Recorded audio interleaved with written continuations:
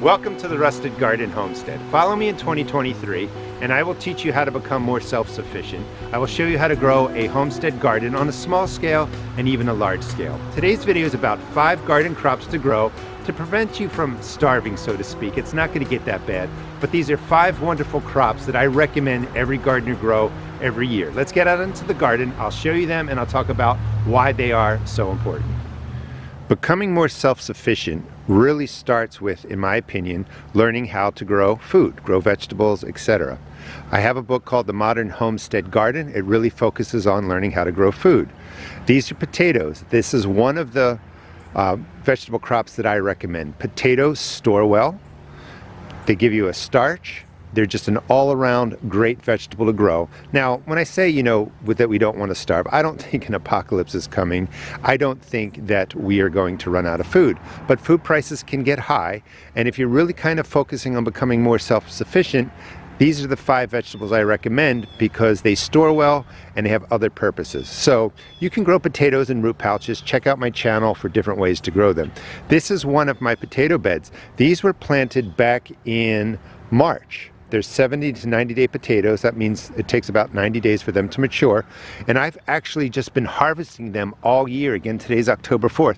By coming in here, looking around, and pulling out potatoes. They're starting, these are the purple Adirondacks. They are starting to regrow growth because they've been in for so long. But you can pull these out, store them, they stay in the ground and that was my experiment. So I planted these in March and I've been able to come out here and just use the ground generally speaking up to the beginning of September before they started growing all the greenery and I could just reach and you can see just the beautiful potatoes that you can harvest. They've been again sitting in here since they were mature probably let's see March, April, May, uh, June, since about June. But you can harvest them store them indoors in a cool area, store them in a root cellar. So definitely grow potatoes. The second garden crop that I recommend are beans. These are cowpeas. Even with that name, they are still beans. They are warm weather crops. So when the frost comes in, these are going to get killed off. But beans give you a great vegetable to eat over the summer when it's warm. These are cowpeas and it's October 4th again. I just want to keep the date in place. I'm in Maryland Zone 7 by the way it's still producing beautiful green beans or cowpeas that I can eat. And you can just cook them just like green beans. You can eat them raw, you can saute them, you can boil them with potatoes. Potatoes and beans go together. Potatoes are going to give you the starch. Beans are going to give you the protein. After the beans have been growing, they kind of move from, you know, this size to this size. They look like this. And then finally, the pod's dry. When they're super crisp and you can just kind of crinkle the pod away, the beans are dry. You leave them on the plant and then about now, you can start harvesting dried beans. You can store them all winter. You can cook with them. You're going to get your protein from the beans. And that's a nice combination of having a starch and potatoes and protein and beans. So cowpeas I recommend. They are really disease and insect resistant here in Maryland Zone 7. And you can just see lots of beans coming that I can eat now and then I'm starting to let them dry so that I can harvest them for the winter. Let's go over to the green beans. You can really grow any bean that you like. And green beans, typically you don't dry them, but they work perfectly fine. I've done that. I've cooked with them. I've made soup out of them. And these are different stages of the green beans. These are some of the first ones. And it's been raining for four days, so I wouldn't harvest these now because they're too wet. Leave them on the plant you leave them just like this. The beans inside the pot are perfectly fine. After you get three solid days of sun, no rain, you can go ahead and harvest your beans. So beans, number two. This is what remains of my butternut squash. Butternut squash is a winter squash. Winter squash are really designed to store well. You grow them all the way into September, October, you harvest them, they would go into a root cellar, they can even stay in your kitchen. Most of us don't have root cellars, but they keep for months.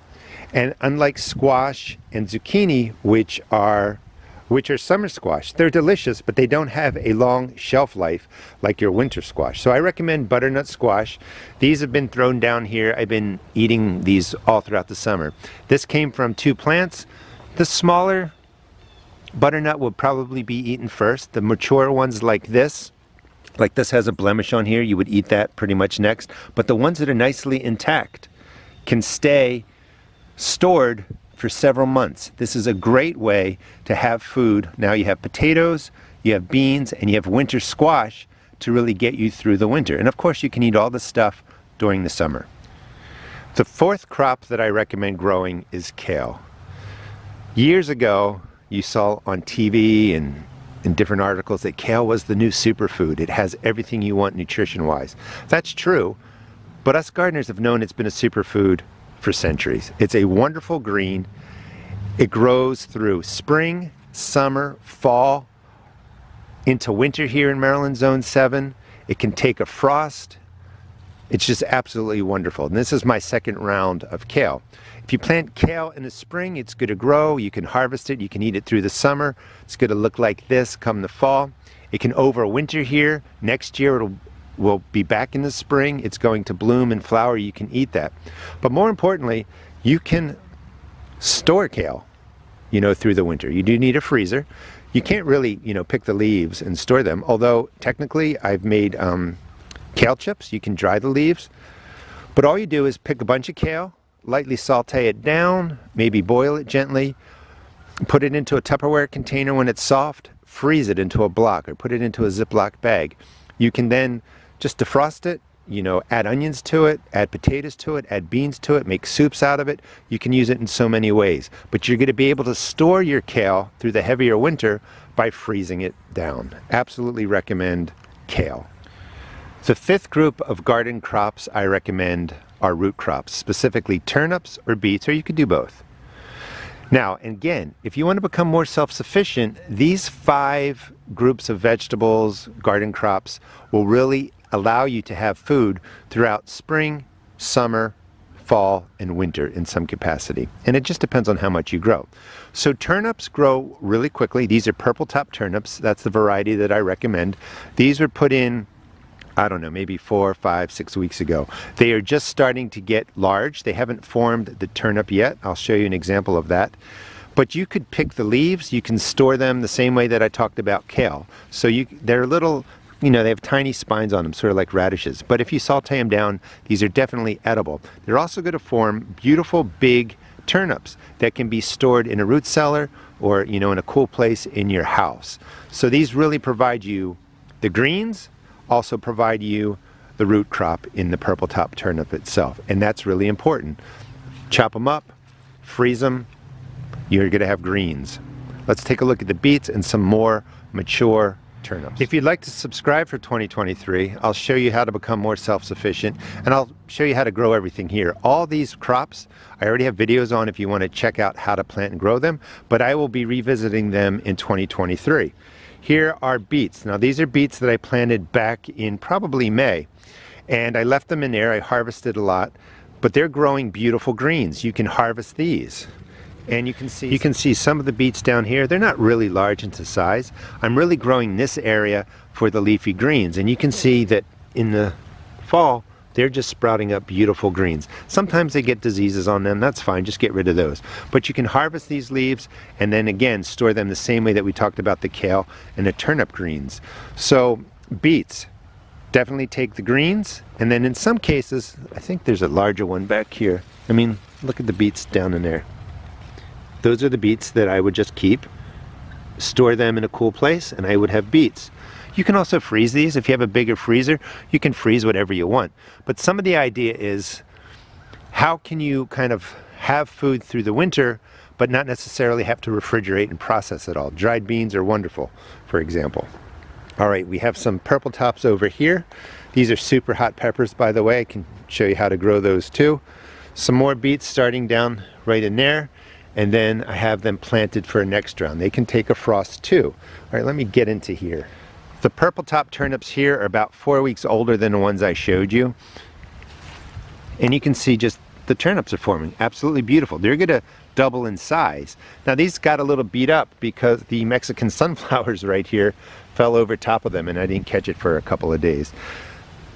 Turnips, kale, green beans, beans, winter squash, potatoes are the five crops that I recommend to really give you some confidence that you're not going to run out of food if that's something you're worried about. But it's a great way to supplement food that you buy at a grocery store and it will help you really become more self-sufficient. More beets down there, some more planted right over there.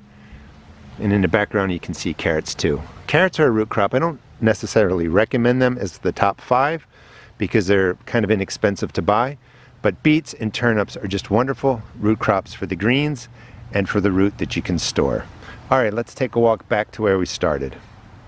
These are radishes. Radishes mature in like 25 to 30 days. You can actually grow them just for the greens and you could store those as we talked about. Here's some broccoli. You can actually cut the leaves, store the leaves like we talked about, and you get a nice head of broccoli, which is a little bit harder to store. The five crops that I gave you are the five that I recommend for really covering all the bases. They grow pretty quickly. You do have to do some planning in the summer for like potatoes and beans. But they really give you a starch, a protein, vitamins, all kinds of nutrition, easy to store.